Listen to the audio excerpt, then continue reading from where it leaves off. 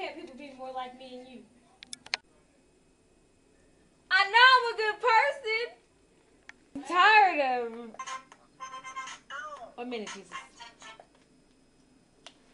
Hey, Justin, what's up? A party at seven? Yeah, I can go. It's only Wednesday. You know, Daddy don't care what I do as long as.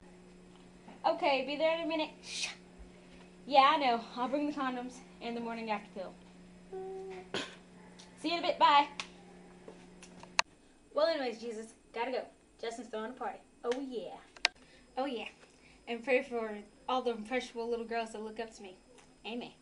P.S. Life's what you make it. Shh. Bye, Jesus. Hi, Justin.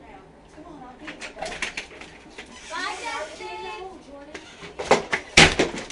What are you looking at? I told you not to wait up. Don't you judge me. Do you know who I am? I'm Hannah Monk.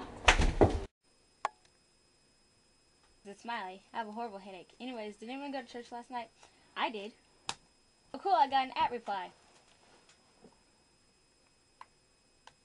Miley, you lying skank. You didn't go to church yesterday.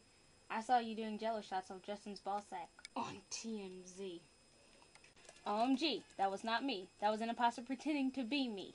Don't believe what the media says. Jesus doesn't like liars. God damn it, how do I keep getting caught by those TMZ bastards? Oh yeah, whoever takes the Lord's name in vain is going to hell. We're gonna go spy on Myler, see what Myler's is doing. Myler's you picture reading again. No, I'm not, Daddy! Yo, bye.